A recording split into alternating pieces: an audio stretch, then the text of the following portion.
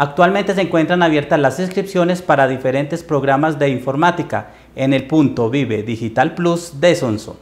Estos cursos que se dictan de forma gratuita son avalados y certificados por la Universidad Nacional Abierta y a Distancia UNAD. Tenemos pues como la parte de ofimática básica, que son las personas que casi no conocen pues como los sistemas de información, eh, aquí se han capacitado varios en nivel 1, nivel 2 y nivel 3 para que sigan con las inscripciones.